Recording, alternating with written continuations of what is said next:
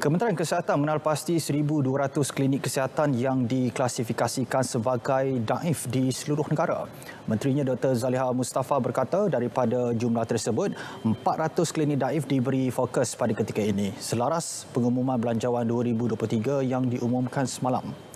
Klinik-klinik tersebut memerlukan kerja naik taraf infrastruktur dan peralatan selain terdapat beberapa fasiliti sudah berumur lebih 50 tahun.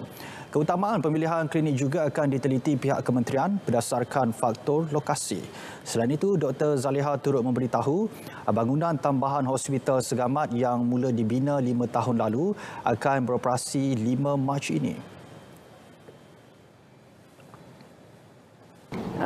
Kementerian setuju untuk uh, meluluskan peruntukan berjumlah uh, tambahan ya RM600,000 uh, bagi kerja-kerja pembinaan tempat letak kereta di hospital ini juga. Uh, jadi itu adalah di antara yang uh, keutamaan lah ya uh, di sini dan uh, uh, dia boleh menempatkan sehingga 422 lot uh, meletak kenderaan.